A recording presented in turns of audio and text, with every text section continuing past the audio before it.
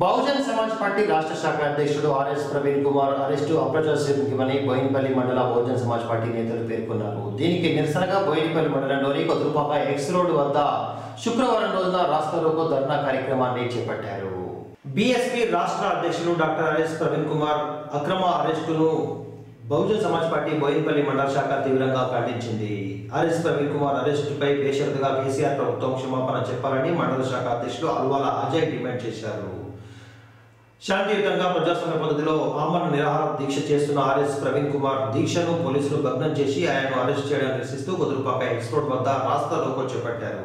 అనంతరం వారు మాట్లాడుతూ రాష్ట్ర ప్రభుత్వానికి తన కూతురు అయిన కవిత నిక్కర్ కేసు మీద ఉన్న శ్రద్ధ ముఖ్యమంత్రికి ముప్పై లక్షల నిరుద్యోగుల మీద లేదు అని పేర్కొన్నారు. గ్రూప్ వన్ పరీక్ష పేపర్ లీకేజీ కారణమైన నిందితులను శిక్షించడంతో పాటు దీనికి కారకులైన ఉన్నత అధికారులపై పూర్తి స్థాయి విచారణ జరపాలని సిబిసిఐడికి అప్పగించి కేసు విచారణ వేగవంతం చేయాలని వారు డిమాండ్ చేశారు. లీకేజీలో ఎలాంటి పెద్ద తలకాయలున్నా వదిలిపెట్టేది లేదని వారి సందర్భంగా పేర్కొంటూ ఆర్ఎస్ ప్రవీణ్ కుమార్ అరెస్టుపై బేషరతుగా క్షమాపణ చెప్పాలని కోరారు.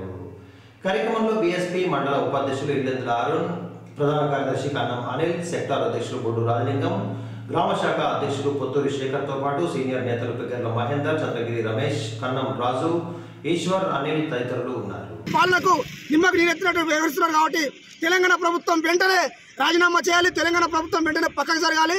తెలంగాణ ప్రభుత్వంలో నిరుద్యోగులకు ఎటువంటి న్యాయం జరగదని ఈరోజు మన తెలంగాణ రాష్ట్ర అధ్యక్షుడు BSP doctor R S Praveen Kumar sir గారు ఈరోజు శాంతియుతంగా తన నివాసంలో ఆమరణ నిరాహార దీక్ష చేస్తున్నారు. మరి దీక్షను ఒప్పుకున్నటువంటి రాష్ట్ర ప్రభుత్వం మరి ఈరోజు అక్రమ అరెస్టులు చేస్తూ ఉన్నది. ఈ రోజు మేము హెచ్చరిస్తున్నాం.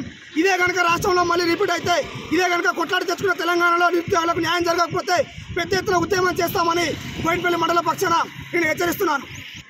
ఈరోజు బహుజన్ సమాజ్ పార్టీ తెలంగాణ రాష్ట్ర అధ్యక్షులు డాక్టర్ ఆర్ఎస్ ప్రవీణ్ కుమార్ గారు ఏదైతే గ్రూప్ వన్ పేపర్ లీకేజ్ విషయంలో ముప్పై లక్షల మంది నిరుద్యోగుల తరఫున ఇవాళ బహుజన్ సమాజ్ పార్టీ రాష్ట్ర కార్యాలయంలో సారు ఆమరణ నిరాహార దీక్ష కూర్చుంటే ఈ యొక్క తెలంగాణ రాష్ట్ర ప్రభుత్వం అయినటువంటి ఈ యొక్క ఈ రాష్ట్రానికి అధినాయకులైనటువంటి కేసీఆర్ గారు కేటీఆర్ గారు వీళ్ళ కుటుంబాన్ని వీళ్ళ అక్కలను వీళ్ళ చెల్లెలను కాపాడుకోవడం కోసం వీళ్ళ లిక్కర్ స్కామ్లో ఇరుకున్నటువంటి వాళ్ళని కాపాడుకోవడం కోసం ఉన్నటువంటి శ్రద్ధ ఇక్కడ నిరుద్యోగుల మీద లేకపోవడం వలన ఇవాళ పేపర్ లీకేజ్ అయిందనే విషయాన్ని మరొకసారి గుర్తు చేస్తా ఉన్నాం.